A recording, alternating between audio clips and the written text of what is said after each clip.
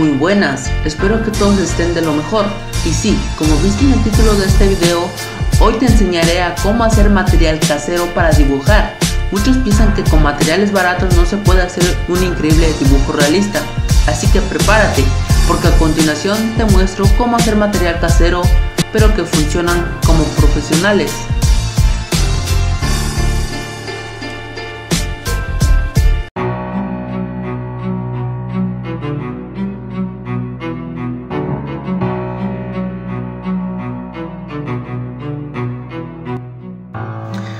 Comenzamos con lo que se necesita para difuminar y más si se trata de dibujos a grafito.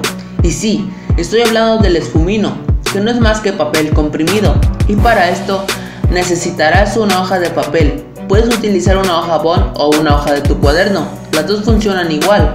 Tendrás que ir enrollando tu hoja de una esquina a otra. Ojo, tiene que ser enrollado al 100%, porque si dejas un poco flojo al momento de enrollar, la hoja no funcionará como esfumino, ya que lo que estamos tratando de hacer es una hoja comprimida, sin un hueco flojo, ya que al final recortaremos las puntas y si está flojo las esquinas no se podrán moldear como lo queremos realmente. Y al finalizar de enrollar tu papel, tienes que fijarlo con un pedazo de cinta para que no desenrolle. De igual manera, aquí está el paso a paso para que te vayas creando del video si quieres realizarlo. Al final de enrollar tu hoja, tienes que ir sintiendo tu papel enrollado y donde esté más duro, ahí recortarás, ya que mientras más duro mejor servirá su función. Ojo, tiene, tienes que recortar los dos lados y solo dejar tu pedazo de esfumino duro.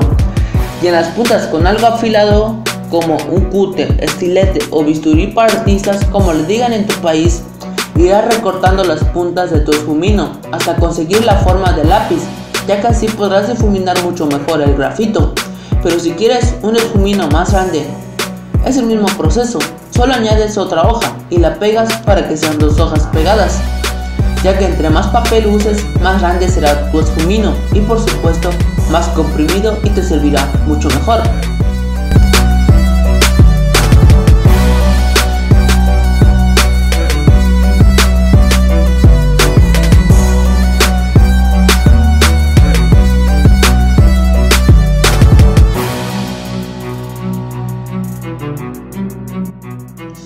También te estaré mostrando otras maneras de difuminar el grafito, que sería utilizar un pedazo de papel servilleta y enrollarlo esta vez en tu mano, ya que así tendrás un mejor control al difuminar.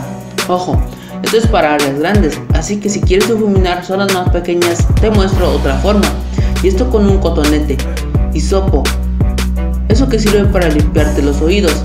Esto nos servirá ya que como es muy pequeño el cotonete Podrás difuminar zonas muy pequeñas en un rostro o dibujo grafito como las sombras de los ojos, los labios, entre otras partes. De igual manera te muestro cómo difumina cada uno en pantalla.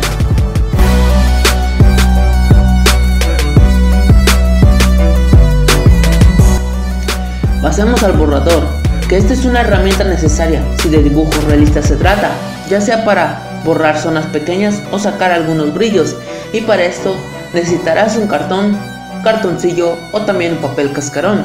Bueno, como segundo material necesitarás una goma dura, en este caso no sirve una goma blanda, ya que lo que queremos es que nos esté moviendo a la hora de borrar zonas pequeñas. Pues bueno, con la goma mediremos aproximadamente un centímetro para después con una regla unir ambos extremos. Al finalizar de medir recortarás la pequeña tira que mediste, esto con unas tijeras, a que no necesitarás cúter para hacer este paso.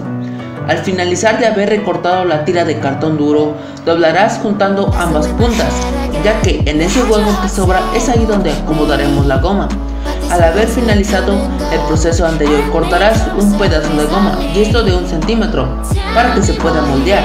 Checamos que entre en la tira que hicimos. Una vez que entre las, las unidades la goma y el pedazo de cartón y lo pegarás con cinta adhesiva. Esto para que cuando se gaste la goma se pueda cambiar fácilmente. Ojo, tiene que estar bien pegado para que no se esté saliendo a cada rato la goma y como ves funciona como una goma profesional al borrar o hacer cabello blanco. Esto también servirá para hacer pelaje animal. Puedes darle demasiados usos a esta herramienta, eso ya depende de tu creatividad en el dibujo.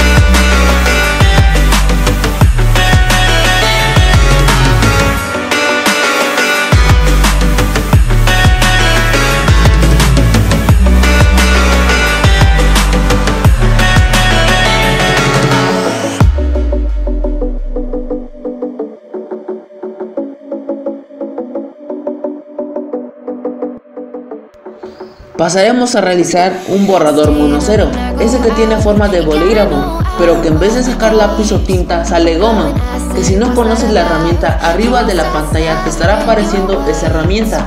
Para hacer esta herramienta necesitarás un bolígrafo que ya no pinte nada.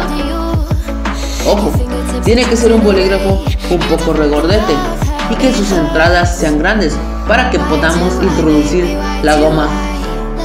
El bolígrafo que consigas tendrá tendrás que desarmarlo, ya que solo necesitarás la parte hueca del bolígrafo, tal como te está apareciendo en la pantalla. Ahora, con un pedazo de goma, en mi caso, estoy utilizando la misma goma del anterior paso. Y como te dije, tiene que ser dura, ya que así tendremos más precisión al borrar. Cortaré un pedazo como si estuviéramos rebanando un pedazo de pan, algo parecido. Y con el trozo de goma que utilizamos, Irás recortando hasta que entre en el bolígrafo.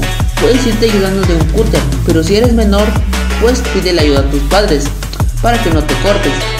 Bueno, al final una vez que moldeaste tus trozos de goma y que entró en el bolígrafo, puedes ver que quedó duro y que no se mueve a la hora de borrar y funciona como un borrador profesional, monocero. Bueno, yo te muestro las formas de hacer material casero, pero que tienen la misma función que un profesional. Y tú ves si las sigues eso no te llevará mucho dinero, ya que casi todo el material puedes encontrarlo en tu casa, así darles y así le podrás dar una utilidad mejor en tus dibujos. Ojo al dato.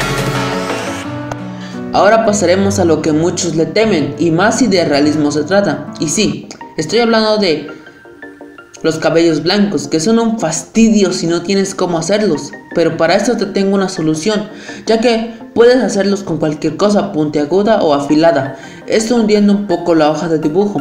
Esto solo te funcionará en una hoja de alto gramaje, ya que si usas una hoja bon, tu hoja se arrastrará y no podrás dibujar más. Así que no digan que no se los dije. Pero bueno, para hacer los cabellos blancos puedes utilizar hasta una hoja o hasta tu mismo compás. Ya que como te dije, tienes que ir hundiendo tu hoja Ojo, para que te funcione bien este paso tienes que ir haciendo los cabellos antes de empezar a darle color a tu dibujo para que después de haber hecho tu dibujo se noten mejor los cabellos blancos que hiciste al principio. Esto no funcionará ya que si tiene color tu dibujo y después piensas hacer el paso que te dije, solo rasgarás tu hoja y quedará feo. Pero no te preocupes, ya que a continuación te mostraré una solución si se te olvidó haber hecho los cabellos blancos antes de empezar a colorear. Para hacer los cabellos blancos después de haber coloreado tu dibujo existen muchas herramientas profesionales como el lapicero de gel blanco o un Posca. Pero ahora te muestro cómo hacer los cabellos blancos sin necesidad de tener un Posca o un lapicero de gel blanco. La segunda forma de hacer cabellos blancos, y esto te servirá si olvidaste de hacer el paso anterior. Y para esto, una vez hecho tu dibujo con coloreado y todo, necesitarás una pintura acrílica blanca y un palito de brocheta. Esto para que sumergas el palito de brocheta en tu pintura acrílica, para después aplicarlo a tu dibujo. Que si quieres ver cómo funcionan mejor estos materiales, aquí te dejo un dibujo de Thor, es una de las, en una de las tarjetas que está hecho con todos los materiales caseros hechos en este video. Bueno, seguimos. Este palito de brocheta tiene dos funciones o más. Si eres creativo, las irás descubriendo. La primera es que puedes hacer cabellos blancos largos delgados y la segunda puedes ir moldeando la línea del cabello blanco a tu gusto. Esto funciona excelente para dibujos realistas o hiperrealistas. Así que la pintura acrílica y el palito de brocheta tienen muchas funciones. Eso ya depende de tu creatividad, como ya te lo he mencionado.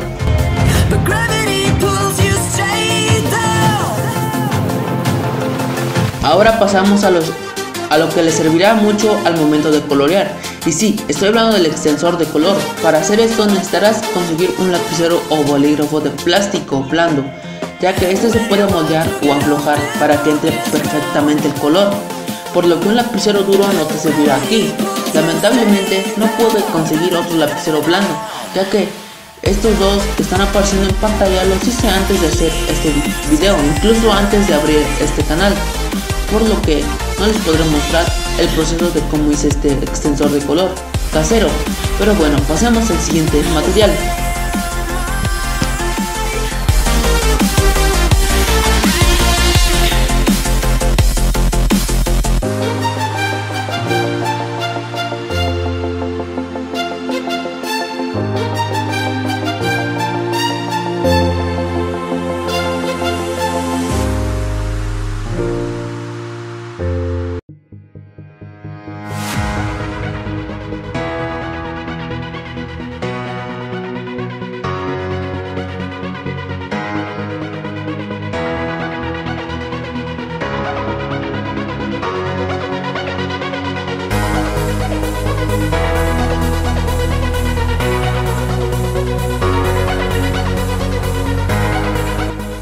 Ahora te enseñaré a cómo hacer grafito en polvo, que tiene demasiados usos, como al momento de hacer un fondo oscuro a grafito.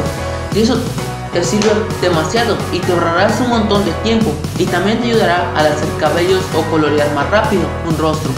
Bueno, para hacer grafito en polvo es muy sencillo, que todos lo pueden hacer. Para esto necesitarás tener un lápiz de grafito muy afilado, de aproximadamente 5 centímetros de punta, y un trozo de lija esa que sirve para dejar liso la madera, pues irá raspando el carbón del lápiz en la lija. Esto porque al momento de raspar dejas el polvo de grafito en la lija. Y al final depositaremos en un bote vacío. Y como ves, esta herramienta es muy fácil y sencillo. Aparte que te da muchas ventajas ya que obtienes grafito en polvo y la punta de tu lápiz se vuelve muy finita. Que al momento de dibujar te sirve para hacer micro detalles.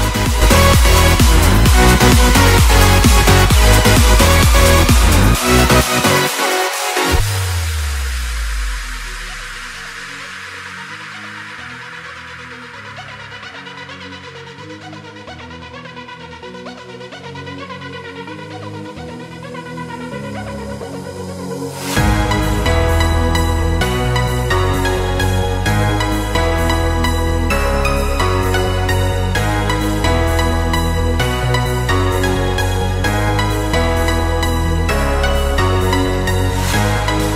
Estos serían los materiales caseros que enseñé en este video, ya que como te dije, no necesitas materiales profesionales para hacer un dibujo increíble, ya que todo depende de tu creatividad.